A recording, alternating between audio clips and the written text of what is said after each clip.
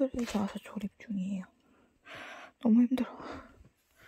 이제 초반인데.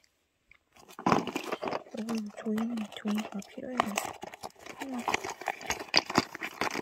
어, 잠깐 더러운 거 봐.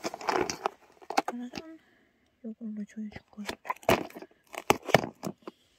팔걸이 조립인데 이게 맞나 싶으면서도 세워놓으면 이게 맞는 것 같고 언제 다 돌리나 세워라 내워라 하면서 돌리고 있어요. 아이고 힘들어. 아침 데스툴은 어떻게 어떻게 다 했는데요. 진짜 힘들게 조립을 했는데 꽤 크고요. 아, 이거는 조립이 너무 힘들고 잘안 박혀.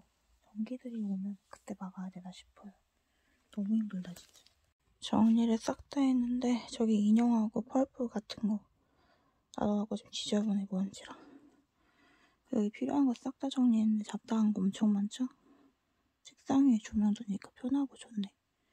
근데 연결된 건 요거 하나밖에 없어요. 지금 홈센터 조명 다 빼놨어. 그래서 원래 는 장식 줬다 옮겼어요 책상에다. 밑에는 인형 그리고 이번에 이케아 체어 흔들레이저 이거 조립 다 했는데 진짜 엄청 힘들었어요. 좀 쉬다 과정을 알려드릴게요. 별로 많이 안 흔들려요.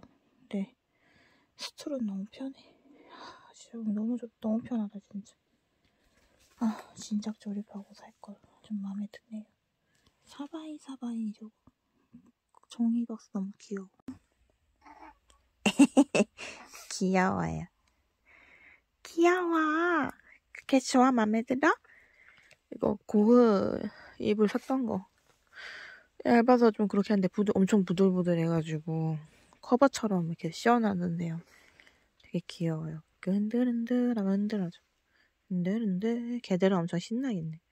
사람을 셀프로 흔들어야 되는데 얘는 우리 내가 해주니까 귀여워. 드디어 완성된 걸 보여드립니다, 여러분. 아이스툴까지 다 싹 다 완성했고요. 만든 지 엄청 오래됐는데 드디어 보여드리네요. 이런 식으로. 예쁘죠? 흔들리죠? 완전 만족스러워요. 여러분도 한번 조립에 꼭 도전해보세요. 힘들었는데 아주 좋습니다. 예뻐요.